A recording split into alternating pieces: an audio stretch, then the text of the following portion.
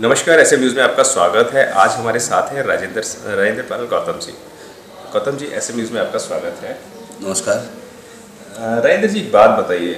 अभी आम आदमी पार्टी के सौरभ भारद्वाज ने अ, 2019 के लिए बताया था कि अगर ईवीएम के चुनाव 2019 के अंदर होते हैं तो बीजेपी उस पर बहुत बड़ा घोटाला कर सकती है। उसके बारे में क्या बोलेंगे? कहाँ तक ईवीएम का जो है खुलासा आम आदमी पार्टी ने भी करा था उसके बारे में क्या कहेंगे? देख ले ये एप्रीहेंशन तो लगातार बनी हुई है। क्योंकि जो पिछले जो चुनाव हुए हैं ऐसे कई चुनाव के सूचना मिली है जहाँ पूरी की पूरी कॉलोनी एक माइनॉरिटी से है या एस सी की पर्टिकुलर किसी पार्टी से जुड़ी है और वहाँ वो वोट बैंक जो पूरी तरह से बीजेपी के खिलाफ रहा है वो, वो वोट अगर बीजेपी के पास 90 परसेंट जा रही है वहाँ तो इसमें कोई संदेह नहीं है और वहाँ रहने वाले लोग कह रहे हैं कि हमने तो बीजेपी को दिया ही नहीं है। तो ये वोट बीजेपी को कैसे चला गया? तो इसका मतलब ये हुआ सीधा सा कि ईवीएम में गड़बड़ी की पूरी संभावना रहती है और पिछले चुनाव में इतने भारी बहुमत के लिए ईवीएम का अच्छे से भारतीय जनता पार्टी ने उत्तर प्रदेश के चुनाव में इस्तेमाल किया। और पंजाब में जिस तरह आम आदमी पार्टी जीत की तरफ़ बढ़ रही थी मुझे लगता है कि उसमें भी कहीं ना कहीं कांग्रेस और बीजेपी के अंदर एक आपसी समझौता हुआ कि भाई हम यूपी हमारी और पंजाब तुम्हारा। ये कहाँ से आ गए आम आदमी पार्टी वाले? इनको हराना ज़रूरी है और इसके लिए आप हमारा साथ दीजिए। और उसमें उन्होंने कहीं ना कहीं आपसे अंडरस्टैंडिंग के तहत ईवीएम का इस्तेमाल किया है।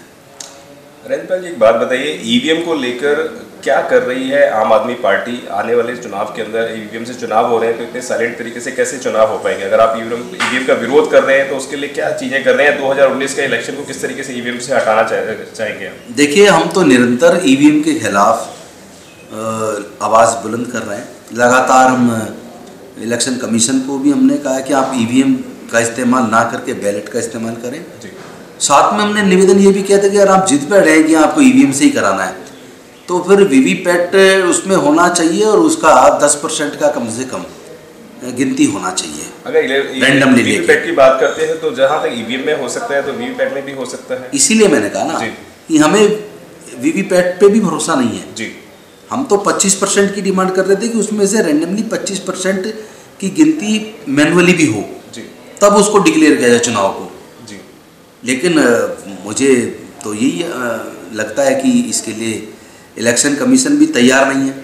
पता नहीं इलेक्शन कमीशन को किसका दबाव इतना ज़्यादा है कि वो बाकी सारी पार्टी चाह रही है कि बैलेट से चुनाव हो, ईवीएम से ना हो।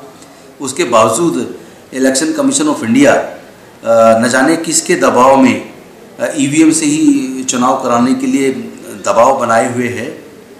तो संदेह तो निसंदेह बनेगा ही बनेगा। क्योंकि जहाँ इतनी बड़ी तादाद में लोग, एक पर्टिकुलर किसी पार्टी से जुड़े हुए लोग और जो कभी भी बीजेपी के नज़दीक नहीं रहे और वहाँ अगर 90 परसेंट से ज़्यादा वोट काउंटिंग में बीजेपी का निकलता है और वहाँ के लोग कह रहे हैं कि हमने नहीं दिया ये कैसे हो गया? यहाँ तक भी देखने में आया कि एक व्यक्ति खुद चुनाव लड़ रहा है उसकी खुद की भी वोट उसके अकाउंट में नहीं आई वो भी कहीं और चली गई। तो ये संभव नहीं है इसका मतलब ईवीएम में गड़बड़ी की तमाम संभावनाएँ हैं। और वो हमारे जो मुख्य प्रवक्ता हैं पार्टी के सौरभ भारद्वाज जी उन्होंने तो बकायदा दिल्ली की विधानसभा में डेमोन्स्ट्रेट करके दिखाया कि किस तरीके से उसका गलत इस्तेमाल बड़ा आसान है। आसान है तो मैं समझता हूँ कि इलेक्शन कमीशन को कोई पार्ट नहीं बनना चाहिए कॉन्स्टिट्यूशनल बॉडी है और प्रजातंत्र में ईमानदारी का चुनाव करवाने के लिए और चुनाव के प्रति जनता का भरोसा बना रहे उनको चाहिए कि वो उसको बैलेट पेपर से कराएँ। आप थे हमारे साथ समाज कल्याण मंत्री रैनपाल गौतम जी, जिन्होंने बहुत अच्छे से बताया कि अगर ईवीएम से चुनाव होते हैं तो कहाँ कहाँ नुकसान हो सकता है भारत की जनता को।